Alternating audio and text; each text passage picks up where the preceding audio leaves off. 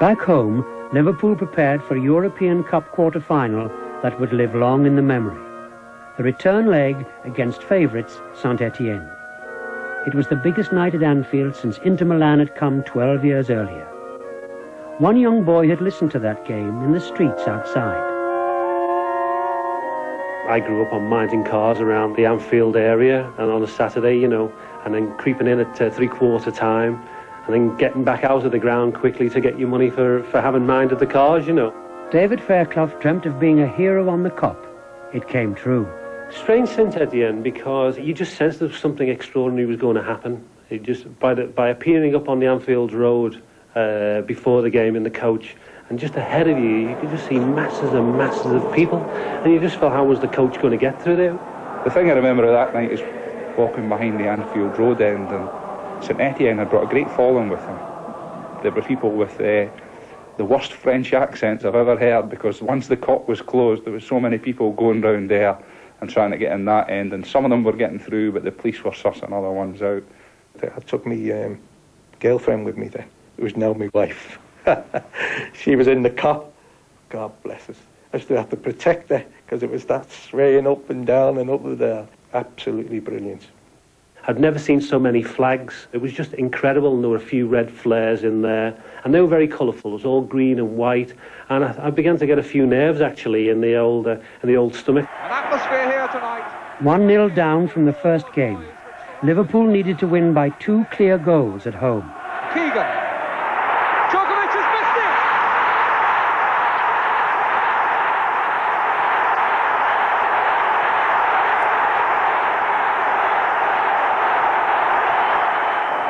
Bathenay. Bathenay shot swerved and goes in. I remember Bob came down and, and just sort of said, usually he just sort of popped his head round the, the side of the, the uh, dugout and just sort of said, go and have a run up and down and, uh, you know, get ready for it. As I'm warming up, Ray Kennedy uh, got the, the second for us. Neal and Toshack going after it. Kennedy, too soon. Liverpool live again.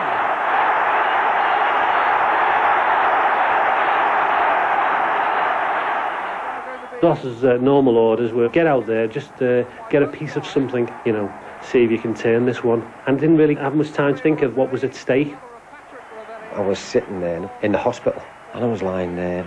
The match was on the radio, and I can remember it, actually Elton Welsby. You know, it, his words weren't Liverpool look as though they might have lost it now. I don't. It looks as though it, the game is going away from them. Here's Ray Kennedy with the ball. He passes it forward. He passes it forward to David Fairclough. And David Fairclough's going on, and he scored. He scored, and I went yes, yes, yes, screaming. It really does look at the moment this time is going to beat Liverpool. Time and the away goal rule. Larqué turning it in. Hervé Revelli's there. Tommy Smith wins the aerial duel, and Jimmy Case gets it away down the middle. Too many long balls, I feel, by Liverpool. Ray Kennedy had, had said to me, if ever he was in doubt, he would lob a ball into those areas. Very hopeful balls at the moment. There's another one from Kennedy, but that could break for fact. I love that situation with a lot of fresh air in front of me, uh, you know, and, and the goal there. I mean, that was all I ever, all I ever needed, really. But that could break for Fairclough, in fact. I just remember thinking, let's not do nothing silly. Just make sure I get the ball on target. And it does. Fairclough going through, and he scored. Oh, David Fairclough has Liverpool surely in the semi-final. The nurses, I was, I could hear these nurses came dashing along the corridor, burst open the door. You're okay, you're okay. I said, we've scored, we've scored. Fairclough.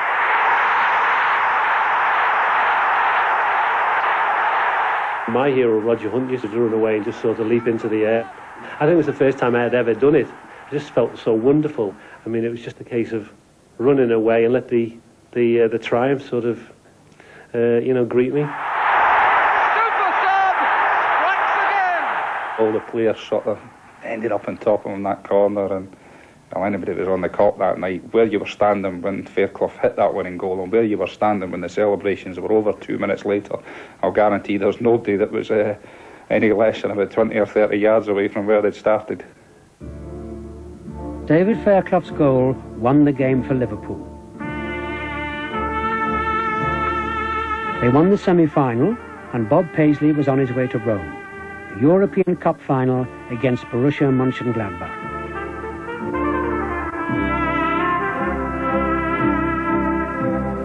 The team left Speke Airport to scenes reminiscent of the Beatles going to America.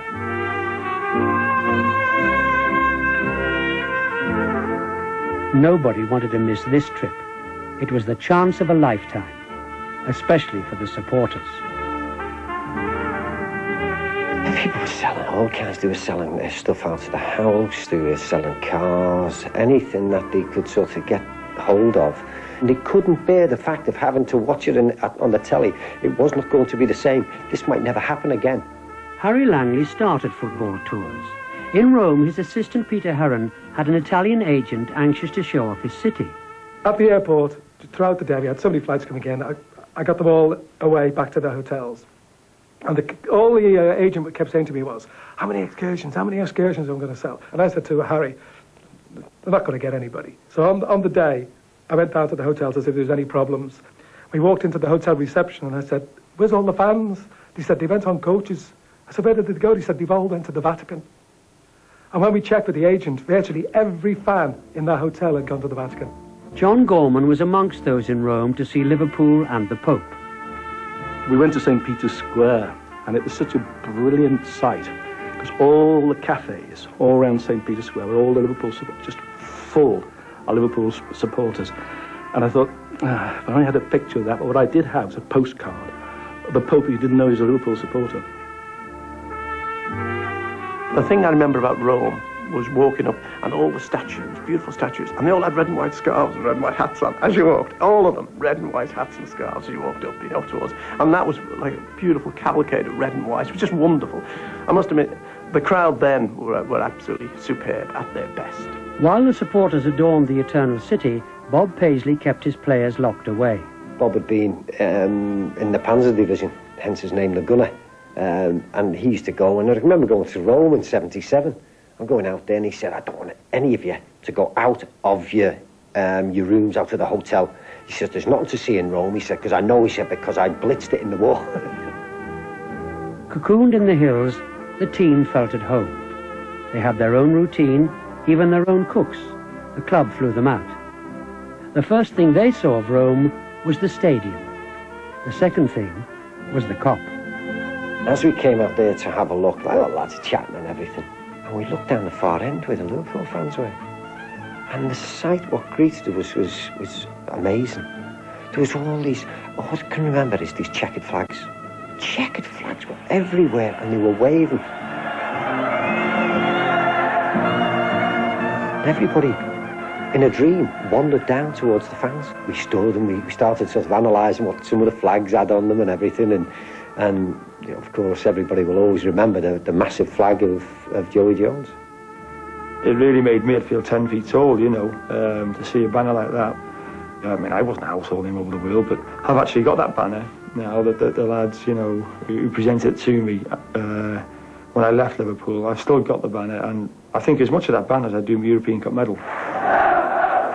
There were over 20,000 Liverpool supporters in Rome. They outnumbered the Germans. It must have felt like a home game. There was no way that Liverpool could lose.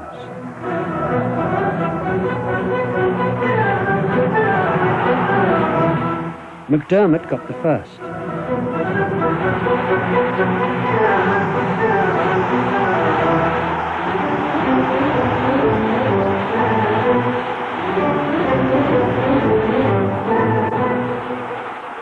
The Germans equalised. Then Tommy Smith lost his head and went up for a corner. Little did we know that, you know, a Tommy Smith would become a Roy of the Rovers. The pace and the power of the corner was wonderful.